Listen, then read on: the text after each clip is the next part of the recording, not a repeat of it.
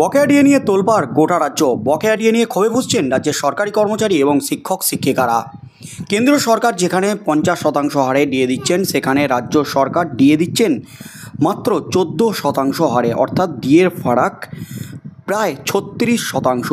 আর এই বকেয়া ডিএর দাবিতেই কিন্তু লাগাতার আন্দোলন চালাচ্ছে সংগ্রামী যৌথ মঞ্চের নেতৃত্বে ব্যানারে সরকারি কর্মচারী এবং শিক্ষক শিক্ষিকারা। এই আন্দোলন পাঁচশো পঞ্চাশ দিন পেরিয়ে গেছে, কিন্তু পাঁচশো পঞ্চাশ দিন পেরিয়ে গেলেও এখনও কিন্তু দাঁতে দাঁত চেপে লড়াই চালিয়ে যাচ্ছেন সরকারি কর্মচারী এবং শিক্ষক শিক্ষিকারা।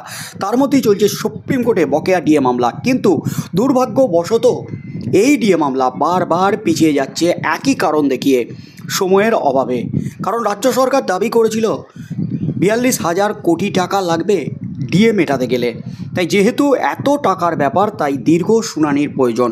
তাই দীর্ঘ শুনানির জন্য সময়ের অভাবে এই নিয়ে দু বছরে তেরো বার পিছিয়ে গেল ডিএ মামলা। একবারের জন্য মামলা শুনানি হয়নি। শুনানি হলেও কিন্তু অল্প সময়ের জন্য হয়েছিল।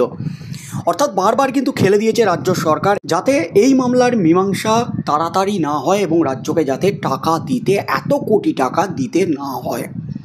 তার মধ্যেই কিন্তু বকেয়া দিয়ে আন্দোলন চলছে। আর এবার কিন্তু বড় সিদ্ধান্ত রাজ্য সরকারের। হঠাৎ করেই কিন্তু বড় পরিবর্তন সরকারি কর্মচারী এবং শিক্ষক শিক্ষিকাদের জন্য।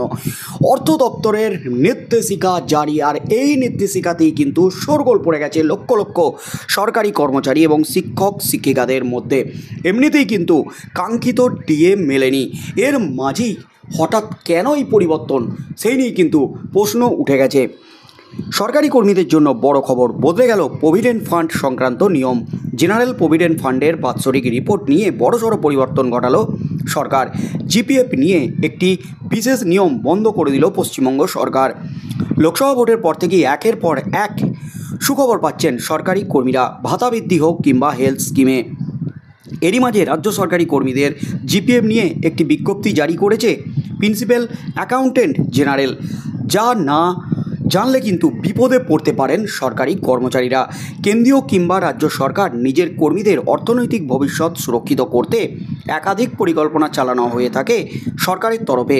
এর মধ্যে বিশেষ গুরুত্বপূর্ণ হলো প্রভিডেন্ট ফান্ড বা পিএফ এই পিএফের অন্যতম অংশ হলো জেনারেল প্রভিডেন্ট ফান্ড বা জিপিএফ জিপিএফ সংক্রান্ত বিষয়েই পরিবর্তন এনেছে সরকার।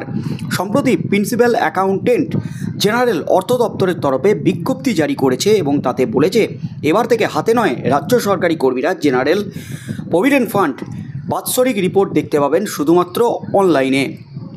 ইতিমধ্যেই এই নির্দেশিকা বিভিন্ন দপ্তরে পাঠিয়ে দেওয়া হয়েছে। প্রসঙ্গত, এতদিন পর্যন্ত প্রতি বছর আগস্ট মাসে জেনারেল প্রভিডেন্ট ফান্ডের বাৎসরিক রিপোর্ট বা স্টেটমেন্ট সরকারের তরফে ছাপিয়ে সংশ্লিষ্ট দপ্তরে পাঠিয়ে দেওয়া হতো, যা হাতে পেয়ে যেতেন রাজ্যের সরকারি কর্মীরা। যার মাধ্যমে প্রভিডেন্ট ফান্ডের সমস্ত বিবরণ বিস্তারিত পাওয়া যেত। এবার সেই স্টেটমেন্ট আর হাতে দেওয়া হবে না। মিলবে এবার শুধুমাত্র অনলাইনে অনলাইনেই শুধুমাত্র দেখতে পাবেন সরকারি কর্মচারী এবং শিক্ষক, শিক্ষিকারা। গত কয়েক বছর ধরে অনলাইনে জিপিএফ রিপোর্ট দেখা যাচ্ছিল। পাশাপাশি প্রিন্সিপাল অ্যাকাউন্টেন্ট জেনারেলের তরফে স্টেটমেন্ট ছাপিয়ে পাঠানো হচ্ছিল। তবে এবার থেকে সেই স্টেটমেন্টের হার্ড কপি আর হাতে পাবেন না সরকারি কর্মীরা। পশ্চিমবঙ্গের পিএজি অফিসের ওয়েবসাইটে গিয়ে এবার থেকে জিপিএফ স্টেটমেন্ট ডাউনলোড করে নিতে পারবেন সরকারি কর্মীরা। এই মুহূর্তের কিন্তু সবচেয়ে বড় খবর। আচমকাই কিন্তু প্রভিডেন্ট ফান্ডের নিয়মে বড় পরিবর্তন আনলো রাজ্য সরকার। যেখানে ডিএ নিয়ে দাবি চলছে ডিএ বকেয়া ডিএর দাবিতে ছত্রিশ শতাংশ বকেয়া ডিএর দাবিতে যখন আন্দোলন চলছে, কিছুতেই যখন ডিএ মেটাচ্ছে না রাজ্য সরকার। রাজ্য সরকারের তরফ থেকে রাজ্যের মন্ত্রী যখন অবস্থান স্পষ্ট করে দিয়েছেন কদিন আগেই যে রাজ্যের হাতে টাকা নেই, রাজ্যের ভাড়া শূন্য, কেন্দ্রীয় সরকারের কাছে কয়েক লক্ষ কোটি টাকা বকেয়া রয়েছে, সেই টাকা কেন্দ্রীয় সরকার মিটিয়ে দিলে, আগে ডিএ মিটিয়ে দেবে রাজ্য সরকার, সরকারি কর্মীদের কেন্দ্রীয় হারে।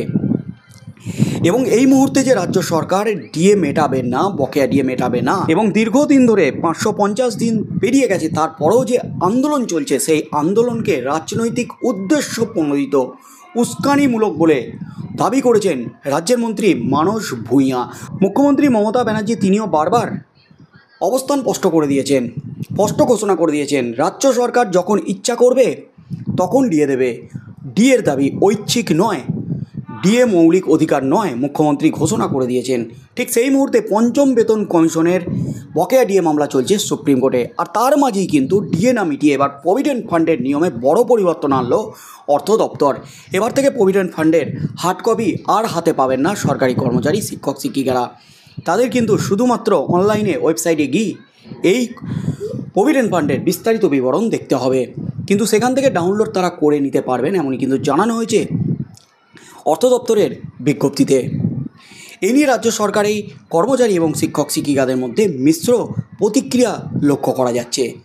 আগামী দিনে কি হতে চলেছে, এই ডিএ মামলায় কী রায় দিতে চলেছে সুপ্রিম কোর্ট? কারণ ছ মাসের জন্য পিছিয়ে গেছে, একেবারে কমায় চলে গেছে এই ডিএ মামলা। জানুয়ারি মাসে দু হাজার পঁচিশ সালে উঠতে চলেছে এই ডিএ মামলা।